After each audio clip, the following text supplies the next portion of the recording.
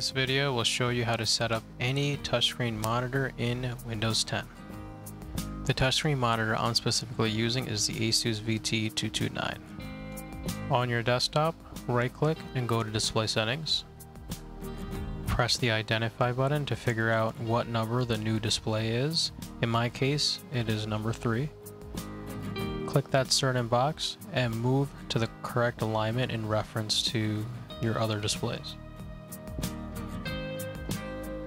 Unfortunately, this display is not plug and play because as I touch the screen, the inputs are showing onto the main display.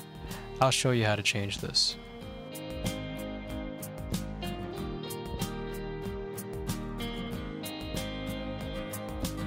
Open up settings, which can be accessed from the start menu on the left side or the bottom right notification button. Type in the word calibrate, select calibrate the screen for pen or touch input.